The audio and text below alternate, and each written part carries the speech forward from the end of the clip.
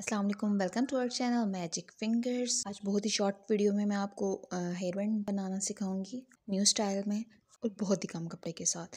तो पहले एक सीधा कपड़ा ले लेना है और फिर उसको साइड से स्टिच कर देना है।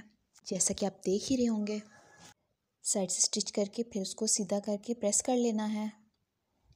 जी, इस तरह से ये दो पीस हम लोगों ने प्रेस कर लिए और दो पीस जो हैं वो हम लोगों ने इक्वली रख लिए। एक पीस थोड़ा लंबा और एक थोड़ा छोटा रखना है।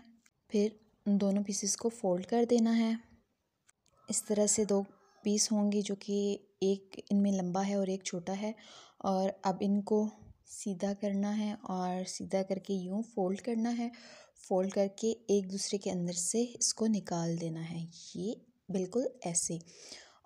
ये देखें, अब ये हमारा डिज़ाइन तैयार हो गया। अब इसको साइड इसके साइड पे जो है वो इलास्टिक डाल देना है। तो इलास्टिक हम लोग कुछ इस तरह से रखेंगे, इस तरह से रख के सिलाई लगा देंगे और फिर इसको सीधा करके ऊपर वाली साइड पे भी इस तरह से सिलाइयाँ लगा देंगे। यहाँ पे डबल सिलाई लगानी है ताकि ये पक्का रहे।